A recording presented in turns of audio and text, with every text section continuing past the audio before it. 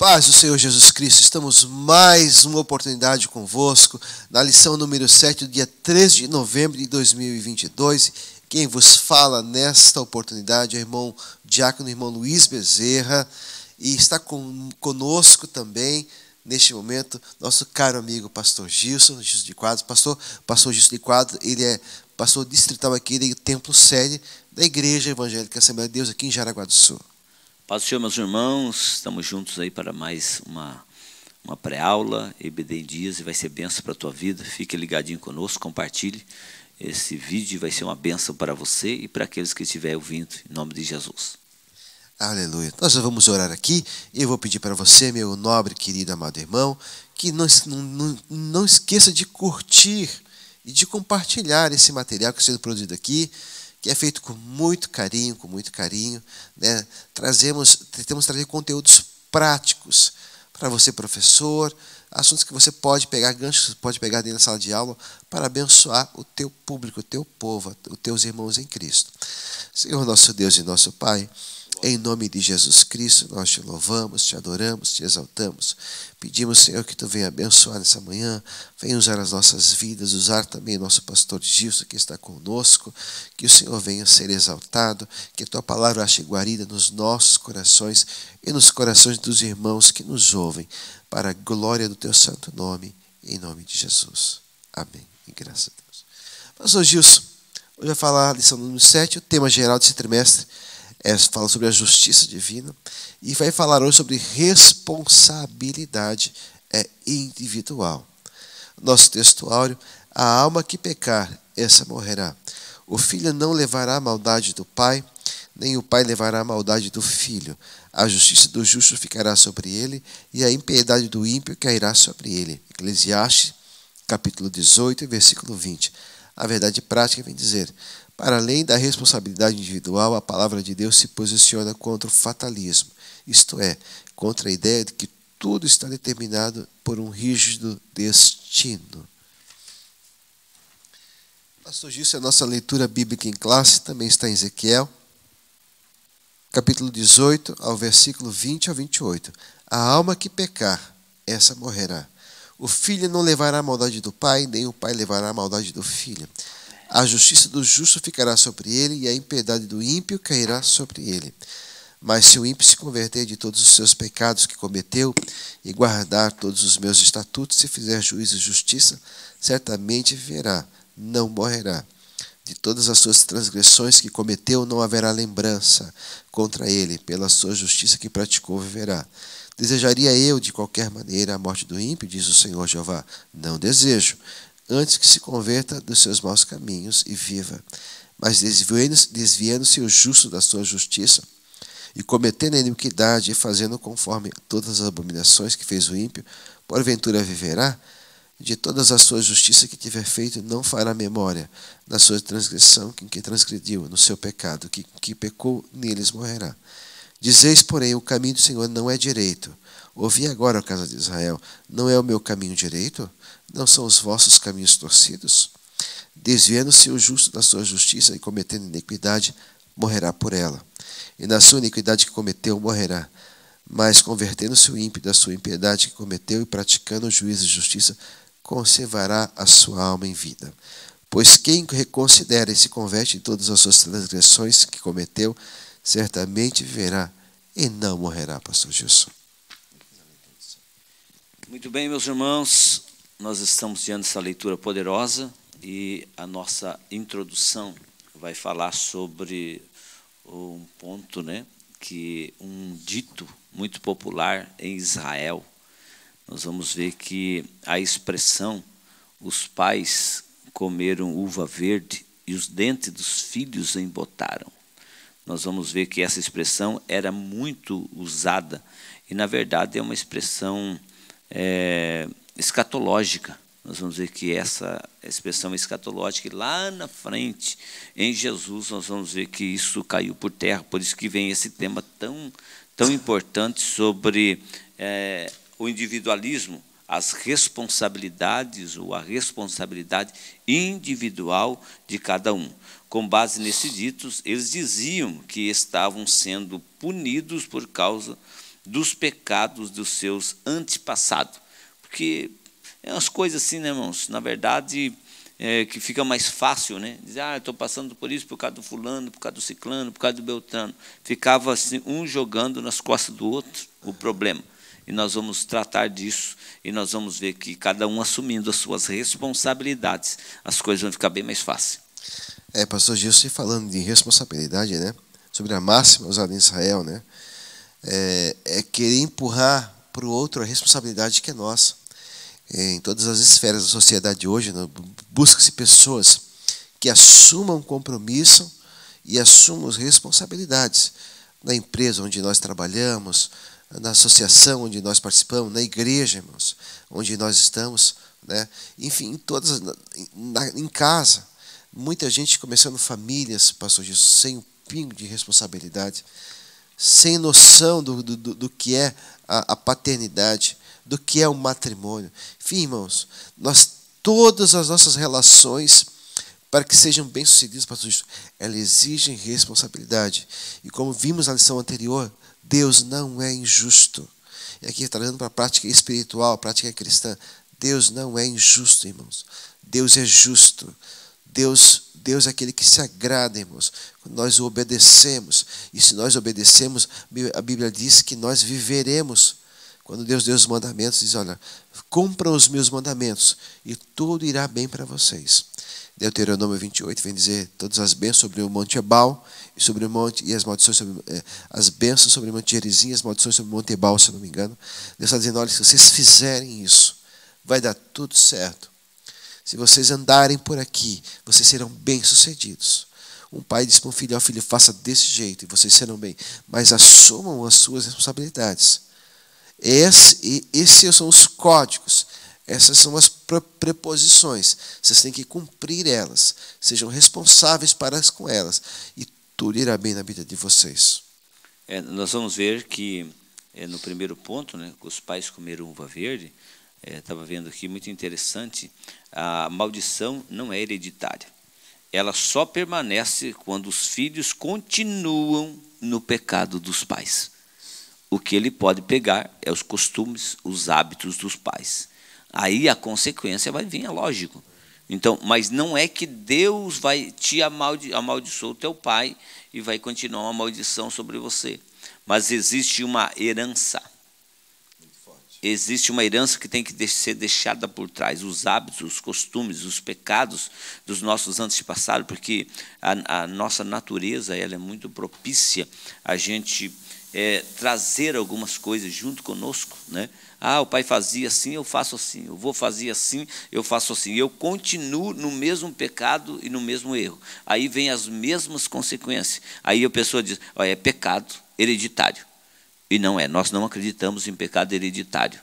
Mas nós acreditamos o que na transformação a partir do momento que a pessoa decide deixar os hábitos do velho homem, das pessoas dos antepassados e começa a viver uma vida com Cristo agora, né? Uma vida com Cristo. Então, na verdade, o problema não é a maldição que está ali, mas o costume das coisas erradas, as práticas dos pecados. Ele aprende, né, pastor? É, é, em Cristo, o mundo aí vive debaixo de maldição, irmão. Isso é fato, né, pastor? Mas em Cristo Jesus, uma vez que você entregou a vida para Cristo, tudo que tudo caiu por terra. É, me, nós falamos na lição, lição anterior sobre profecia, pastor Gilson. Logo no começo da minha caminhada cristã, eu não entendi quando a minha mãe recebeu uma palavra profética sobre, a, sobre os filhos dela. Porque existia na, no, no, o histórico familiar do, dos meus pais, dos meus tios, era muito ruim.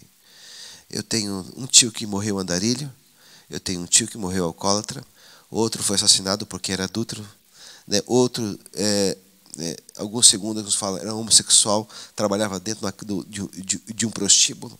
Então, a história dos homens do, da, da, minha família foi terrível.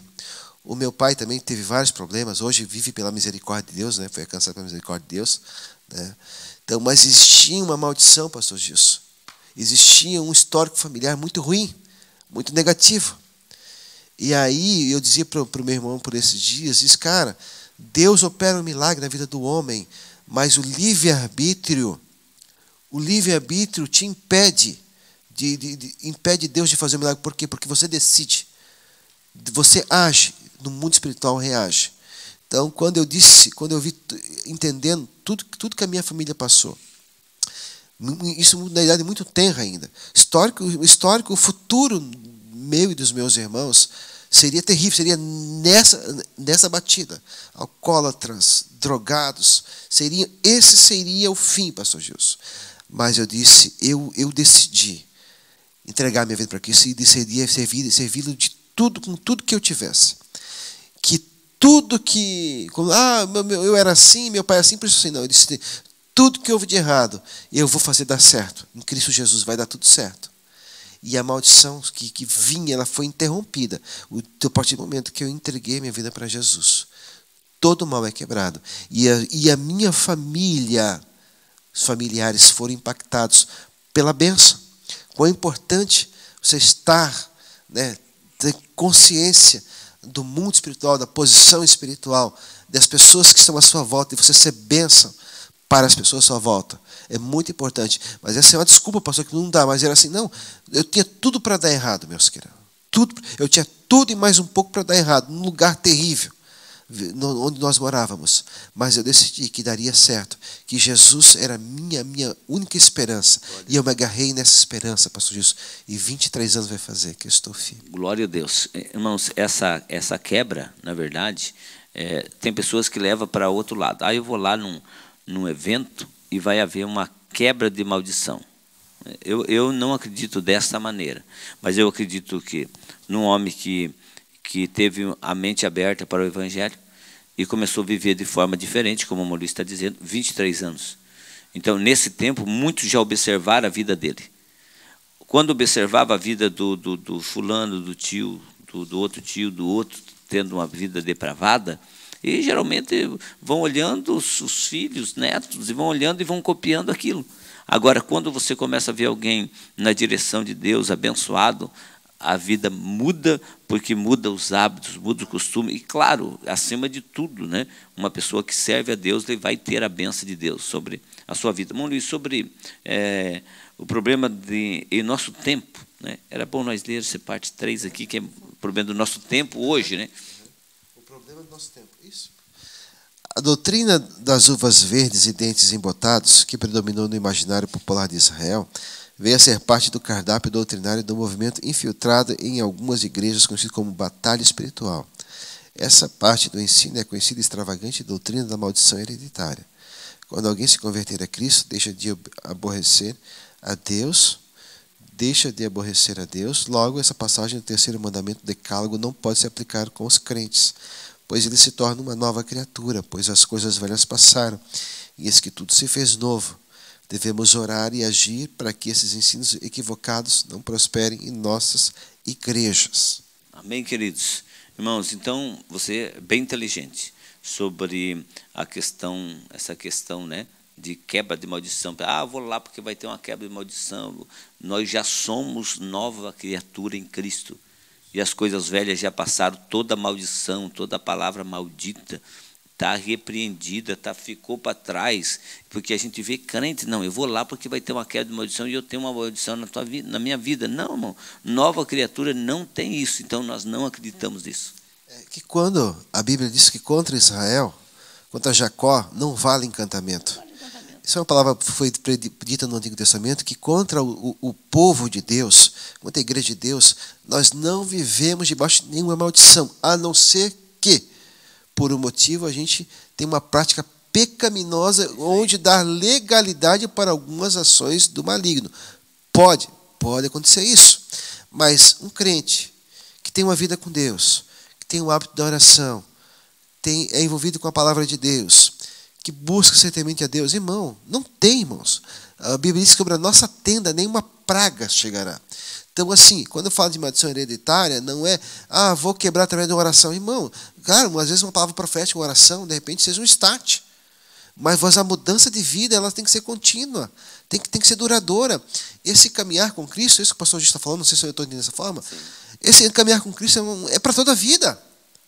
Se você quebrar agora e desviar amanhã, irmão, você vai ficar pior.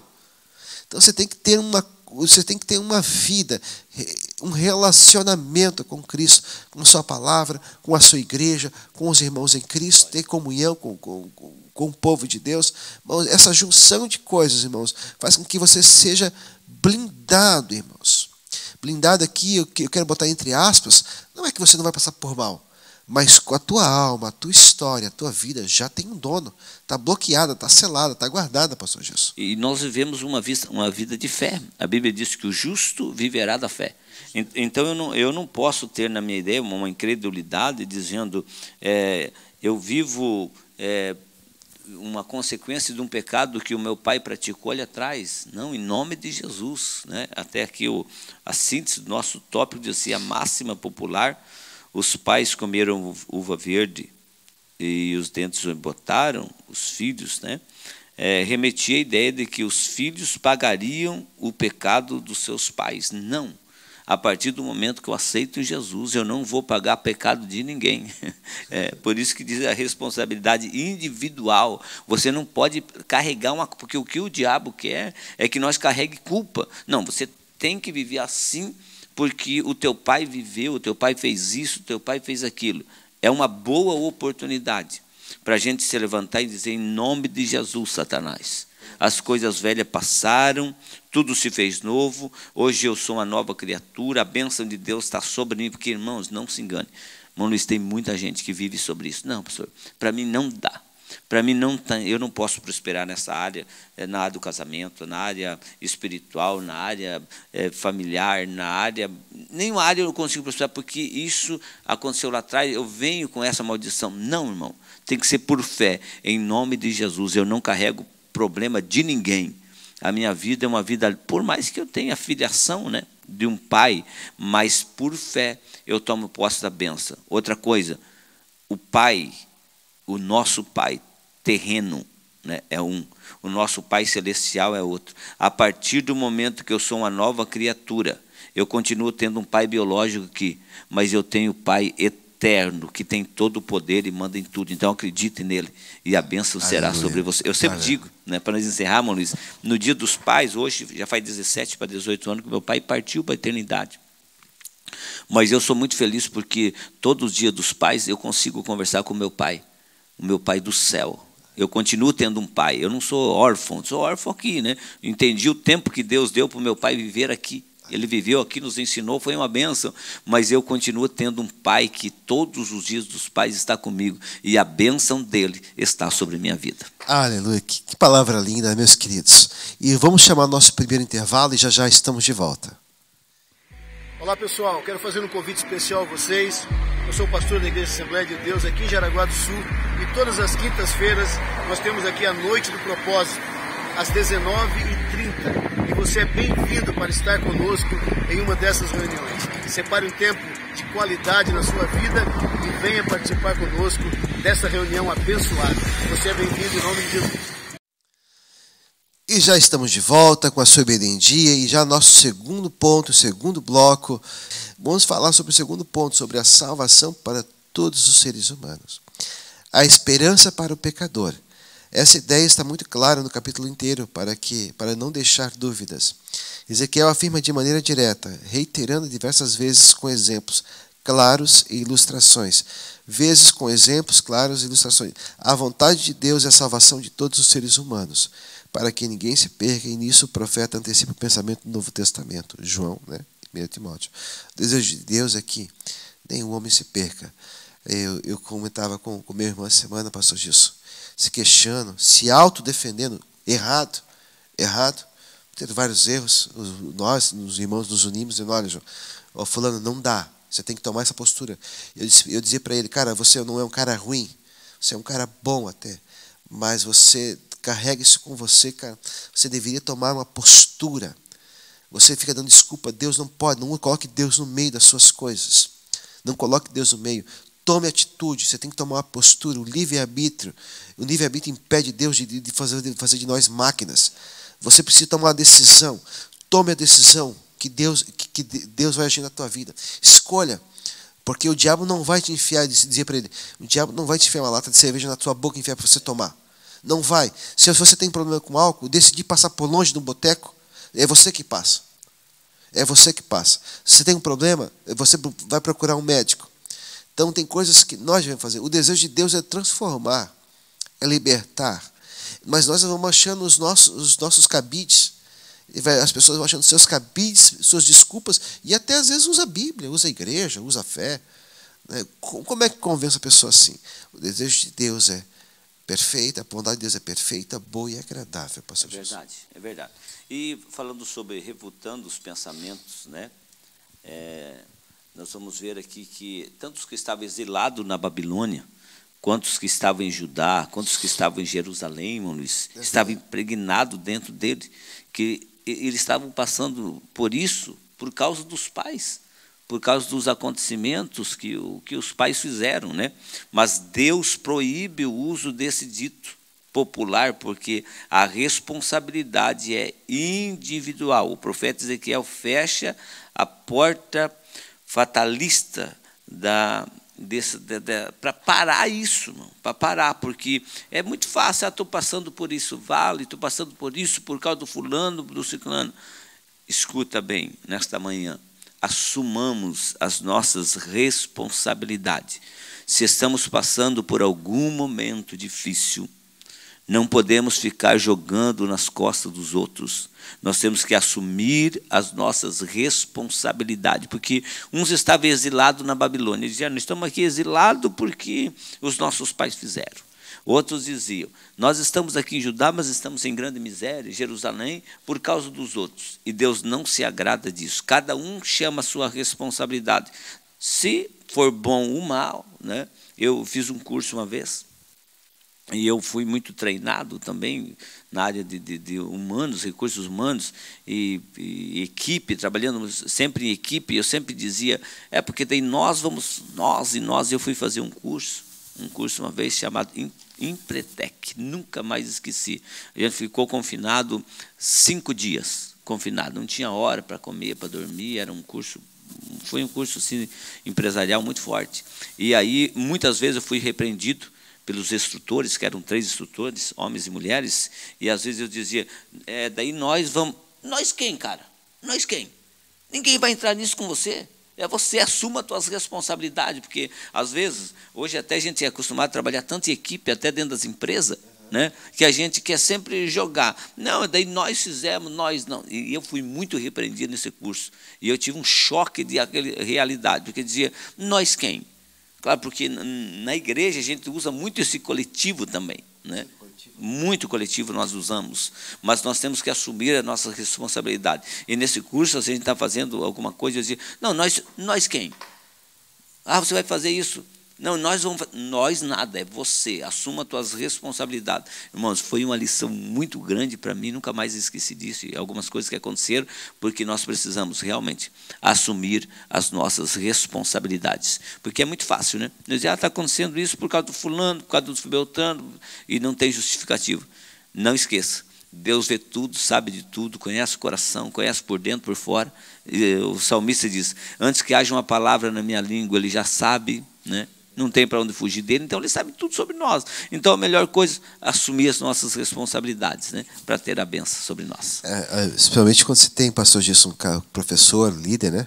Você tem um cargo de, de, de liderança, é importante você congratular ou dividir os méritos, né? Mas sabe de uma coisa, líder, professor, sabe uma coisa você, né? Quando der o problema, uh -uh, tem nome. Tem nome. Quem é o responsável? Não é a equipe, é o responsável. É. Então, é claro, é, é, é, é importante que a pessoa né, tenha esse sentimento de humildade. Né? Dentro de cada, dentro de, de, de, de cada ordem, né, cada um no seu lugar, é assumir as suas responsabilidades, mas sempre é, é, com muita obediência, prestando. Mas dentro da nossa, uhum. aonde cabe a nós, assumir. É, individual, porque quando a cobrança vem, não vem para a equipe. Não vem para a equipe, vem, vem para o líder. É. Só que teve um tempo, né, Luiz, que foi, foi. Eu me lembro, é, eu fiz muitos cursos do Senai e tal, dentro da empresa e, e, igreja, era, era falado muito a questão, foi tirado né, é, a questão do nome de, de, de, de chefe e tal, ficou facilitador da equipe, o líder, né? ele não era mais o líder, era o facilitador e tal. Então, diante disso, é, criou-se né, essa questão de, de se for ver, se for pensar numa parte política aí, até nem dá certo. Né? Essa coletividade, todo mundo fazer a mesma coisa, às vezes só dá certo em alguns lugares. Como diz aí, no presídio, em alguns lugares dá certo, né? Viver a mesma Chama-se anarquia. anarquia. Cada, cada, um faz o que quer. Então, não. Então, cada um assume a sua responsabilidade. Ah, deu, eh, deu errado aqui. Infelizmente, fui eu errei. Né? É eu falei com uma, eu estava falando com o irmão Eliezer, pastor Gilson. O único ser na terra que não tem líder chama-se gafanhoto todas as culturas, todos os biomas, é, se eu posso usar a palavra bioma, todas a, o reino animal tem líder. Só funciona com liderança. Nós temos, nós temos que ter líderes, ser liderados, ser pastoreados. É, negócios que não, sem, quando não há lideranças, a Bíblia diz que chama-se chama de anarquia.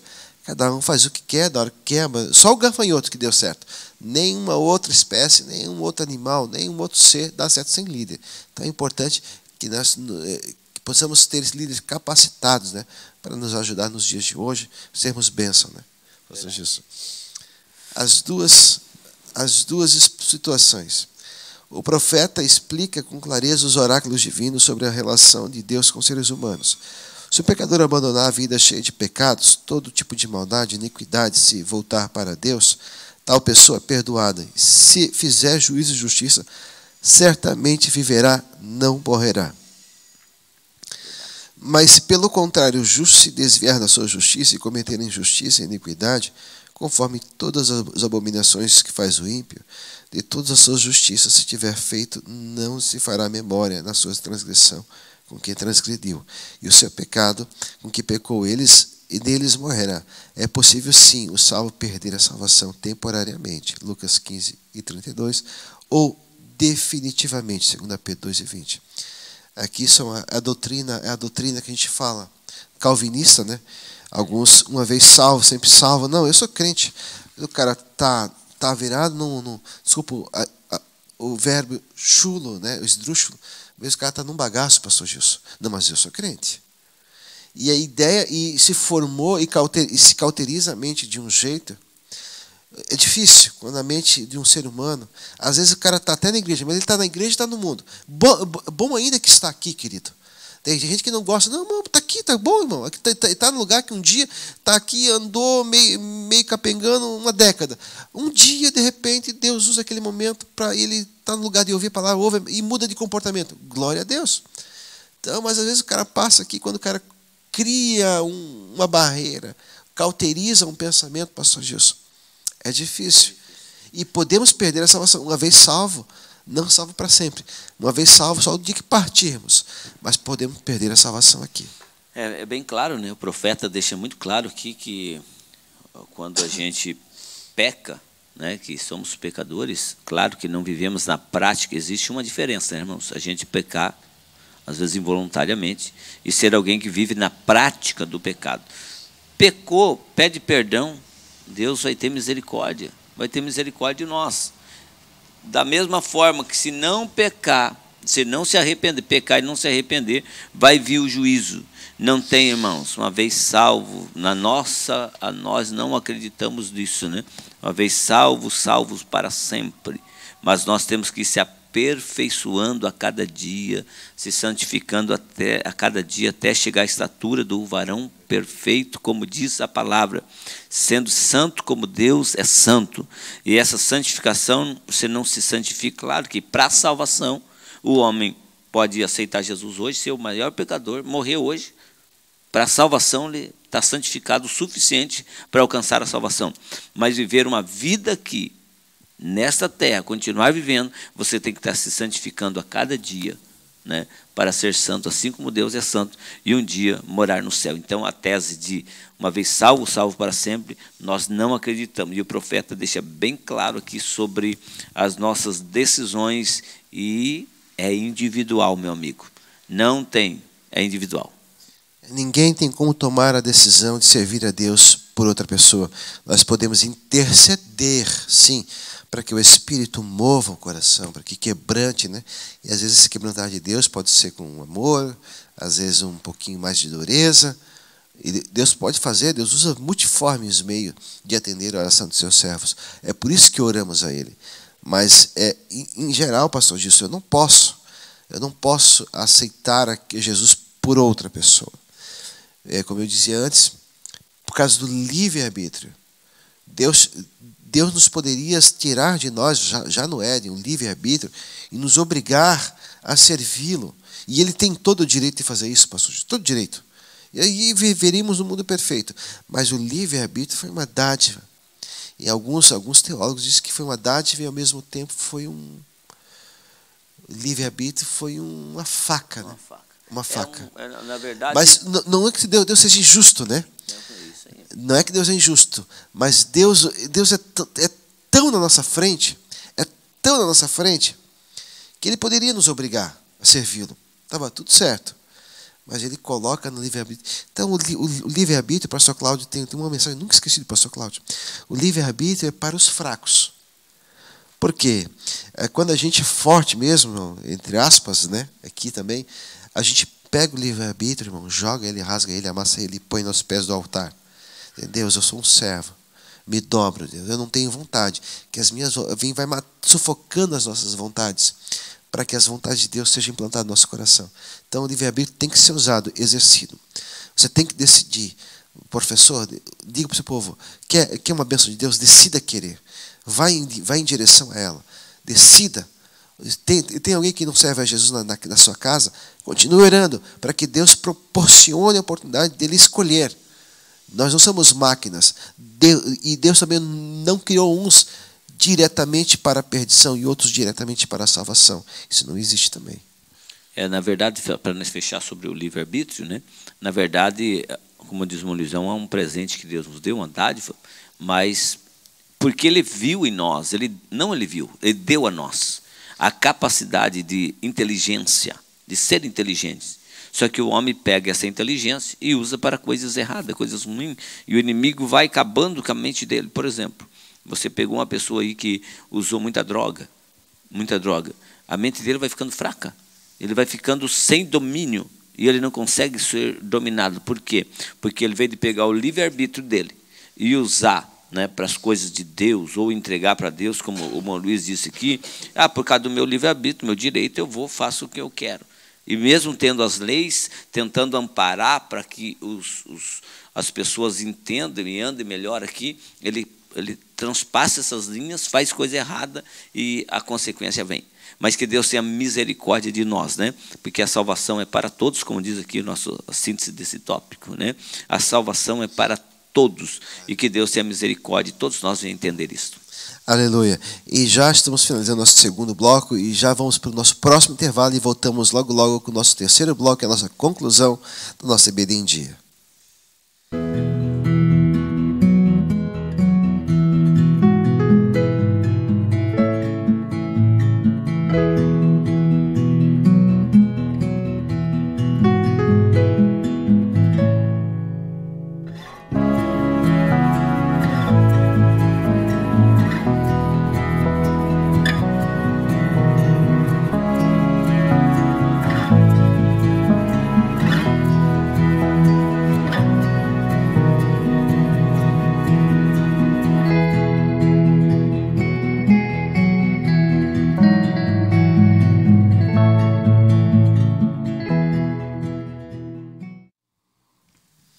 Já estamos de volta para, com a nossa EBD em dia, né?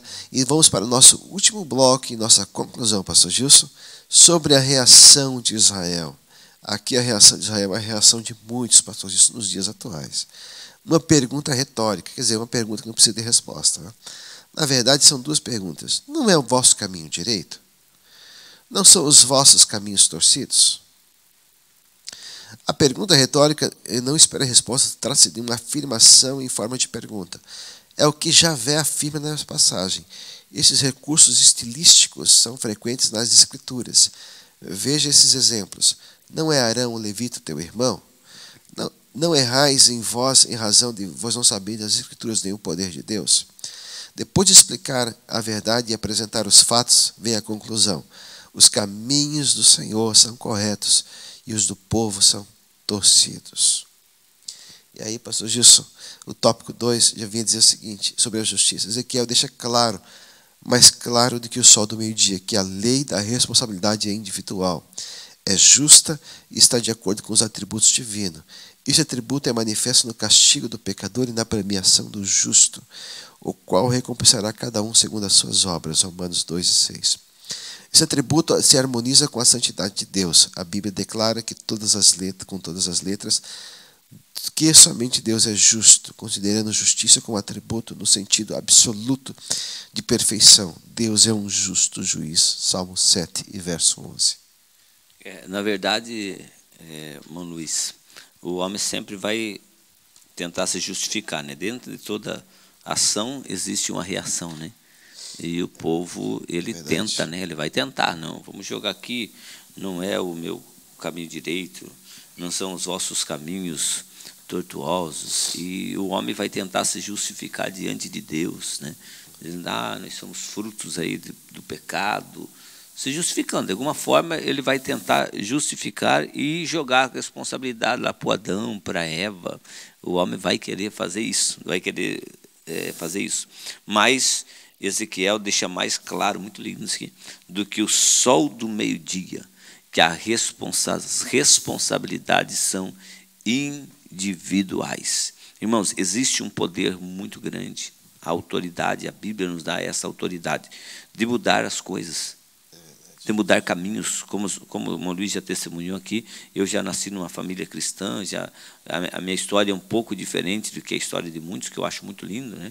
a história de pessoas que se converteram depois, que tiveram a vida mudada, mas eles assumiram uma responsabilidade individual, dizendo, vai ser assim, e Deus se alegra com isso, e nós devemos tomar as nossas responsabilidades e fazer direito, fazer certo. Por quê? Porque a Bíblia nos ajudará.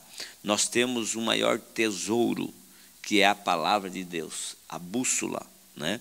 que vai nos guiar, a palavra que nos vai instruir para que nós possamos ter uma vida correta, vivendo com justiça, para que nós possamos, é, diante de, de ações, de pergunta de Deus, de resposta de Deus, as, que as nossas reações que as reações sejam sábias, que nós possamos entender, dizer assim: não, eu estou agindo dessa forma porque eu conheço a palavra, sei quem é Deus, eu sei o que é o pecado, por isso que é bom você estudar.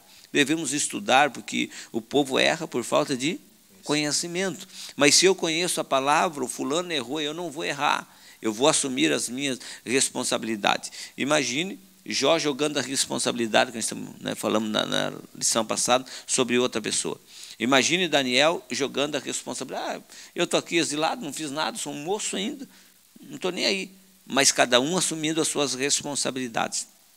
Diante dos homens, diante de Deus, as coisas vão dar certo. E a nossa vida vai ser uma bênção e nós vamos viver com justiça né, nessa terra. E Deus e Deus se agrada, irmãos, de quem, de quem assume compromissos e responsabilidades. É, falando sobre do tesouro que temos, estava estudando ontem, pastor Gilson, vendo um vídeo, e em Israel, ah, aqui fugindo um pouquinho da lição, em 1947 foi achado os manuscritos do, do, do Mar Morto, né, por um, por um pastor de ovelhas, e foram encontrados muitos documentos, entre eles a Bíblia, a, a né, que é a, a, Bíblia, a Bíblia hebraica, né, composta pelo Pentateuco, pelos escritos, pelos profetas, né. É, de forma legível, claro, um dos rolos foram encontrados em perfeito estado, inteirinho, foi o rolo do profeta Isaías, né? o rolo. Né? E em Israel, irmão, existe um museu, o museu da, da, da, da, entre aspas, da Bíblia, né? o museu da, da lei ou da Torá. Né? E, esse, e esse recinto ele é tão protegido, ele aprova, ele é antimíssel é uma coisa extraordinária que fizeram para guardar os pedaços desse livro. É, só o primeiro-ministro de Israel, pastor Gilson, tem, tem, tem uma sala tão segura quanto esses pedaços de papel que tem ali dentro. Sabe por quê? O que mais é lindo é que Israel sabe que o maior tesouro que ele tem não são os milhões, os bilhões que esse governo tem. Para todo judeu, para todo israelita, o maior tesouro, uma nação próspera, o maior tesouro que eles têm é aquele livro, é a palavra de Deus. Não se compara a nada. Tanto que é colocado aqueles, aqueles papéis, são colocados a nível do primeiro-ministro. Ninguém chega perto, é, é, é, ultra secreto. Algumas partes só são impostas, porque eles sabem que aquilo ali vale mais do que dinheiro. vale mais do que ouro, mais do que tesouro. E eu estava vendo ontem e estava imaginando que exemplo para nós. Né? Que exemplo. Só dando. E o arrependimento, queridos. É, nós temos né, a palavra de Deus, quantas versões você quiser, das formas que você quiser. Você erra se você quiser. Se você quiser acertar, você acerta pelo livre-arbítrio. É segundo a palavra de Deus. E nosso último ponto ali, o terceiro ponto, vai falar sobre Deus é justo e misericordioso. A retribuição ao pecador, quanto mais, vem depois de muitos anos de apelo e arrependimento sem resposta do povo. A resposta dada aos críticos deixa claro também que, mesmo ímpio na sua impiedade, deixando o pecado e voltando a praticar a justiça, tem o perdão. Todos precisam de arrependimento e buscar o perdão de Deus e não acusar o próprio Deus. Essa história se repercute em nossos dias, porque a tendência dessas pessoas culparem a Deus pelas suas mazelas. Devemos levar a palavra de Deus em nós, a essas pessoas, pois nenhuma felicidade pode ser plena sem Jesus Cristo. Quantas pessoas, irmãos em Cristo, dando desculpa, pastor Gilson? Não, as coisas não dão certo, faz um negócio, não consulta Deus. Não, Deus é culpado. Não, alguém fica dentro da família, não, não, Deus é culpado porque não quis curar. Irmão, nós achamos, botamos tantas culpas em Deus, irmão. Tanta culpa de tanta coisa, pastor Gilson. E as pessoas se desanimam, deixam de vir à igreja, fazem bico, fazem birra. Não vem mais, porque Deus tem que ter um. Eh, algumas pessoas subentendem de que Deus tem que ser um aprovador das ações deles ou um garçom das petições dele. Não é assim. Deus é Senhor, né, pastor Gilson? É, na verdade, a, é princípio, irmãos, nós considerar, né, nós entender quem é Deus e o respeito nosso sobre Ele. É, é muito fácil nós ficar jogando as responsabilidades, como nós já falamos muito aqui nessa manhã, nesse dia, sobre as pessoas, né? É um, é o ser humano é assim. Agora imagina eu ficar querendo jogar a responsabilidade dos meus erros, das minhas simplesmente porque eu, eu pensei que era assim, que devia de ser assim, não tem instrução bíblica do tesouro que nós estamos falando aqui, não tem instrução da palavra, não entendeu, eles faz, faz as coisas do, do jeito dele, aí quando dá errado, ele se revolta.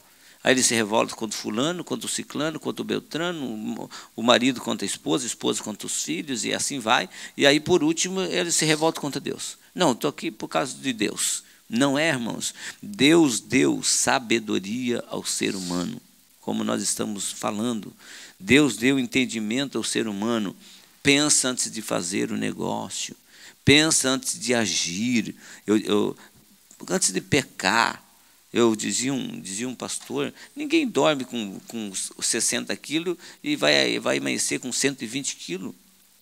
Ele chegou nisso aí por uma consequência, ele foi comendo, não se controlou e tal, e as coisas foram acontecendo, ou por alguma, por alguma outra coisa, outro motivo, e isso vai acontecendo. Né? Porque daí você ouve a pessoa contar uma coisa, por que, que hoje os psicólogos né, trabalham tanto? Não, vamos, deixa eu ver lá para trás, como é que é? Deixa eu entender tua história. Porque as pessoas chegam de bonzinho dizendo, ó, infelizmente aconteceu isso aqui comigo. Aí diz, é culpa do fulano, do ciclano, do beltrano, é culpa de Deus. Mas Deus deu oportunidade, Deus falou, Deus disse, não entra nesse caminho, não faz isso, cuida disso, cuida daquilo ali. E ele não cuidou. E a consequência veio. E aí ele tem que achar um álibi. Quando o senhor fala, para limpar a consciência dele e sujar cuida, do outro. Cuida com aqueles que, que tentam, né? Tentam limpar a sua consciência e sujar a dos outros. Né? Fica jogando responsabilidade sobre a gente. Não seja bobo, né? não caia nessa, seja sábio. Essa frase do pastor Gilson eu guardei, nós guardamos lá em casa, pastor Gilson. É alguém que quer limpar, tem gente, pessoas que querem limpar a sua consciência e sujar a nossa. Opa, cai fora.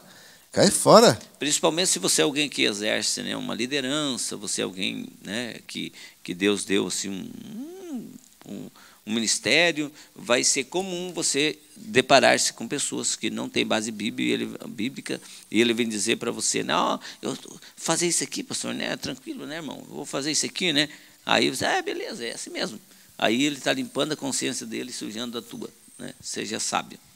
É, nós já estamos indo para o nosso finalmente. É, passei, é, recebi um casal muito querido, passou disso há uns meses atrás na minha casa. E aí eu fui comentar sobre, falando, entramos sobre questões financeiras, né? E eu, pela misericórdia de Deus, sou pobre e tem luta pela vida, né, pastor Gilson? Mas a gente, mesmo com as dificuldades, A gente vê a mão de Deus né, nos guardando, né, a criança está aqui, tá aqui. E aí a gente foi fazer. E um rapaz que, que muito meu amigo de, de juventude, que ganhava praticamente o dobro e mais alguma coisa que eu na época, pastor Gilson. É, vendo, depois de 20, 20 anos praticamente, vendo que existia, existia uma diferença. E ele crente, a mulher dele crente, ele passaram em algumas igrejas, eles não concordaram, eles queriam achar um, um álibi para não dar o dízimo né, da igreja. Então ele foi na igreja A, na igreja B, na igreja C, pegou um pouquinho de cada coisa, fala, rapaz, você vai se arrebentar, falei para ele. Passei umas quatro horas tentando convencer eles. E, por, por certo foi Deus que preparou aquele momento, para que eles voltassem, que existia uma lei da retribuição. Dízimo não é imposição, dízimo não é, não é, não é, não é forçação de barra. E falei sobre exemplos de, dos pais na fé, dos irmãos da igreja que são dizimistas, né, das coisas que acontecem no dízimo. Mas eles passaram por horas querendo que eu dissesse que eles estavam certos. Eu falei, e eu pensei comigo, ah, vocês querem uma palavra de. Eles foram, não foram buscar um conselho, eles foram buscar uma aprovação. Falei, olha, pelos frutos vereis a árvore. Vocês fazem o seguinte, vocês não precisam de dar os seus dízimos na igreja, mas antes de fazer isso, vocês façam uma prova com Deus que não é barganha. Se você for batalhar com Deus contra a parede, você está perdido, meu amigo, minha amiga. Mas faça uma prova com Deus. Se isso não é verdadeiro, então pare. Se não funcionar para você, não tem problema. Mas para mim está funcionando, para muitas vidas que, que, que me espelhei funcionou. E vai continuar funcionando, porque eu creio dessa forma.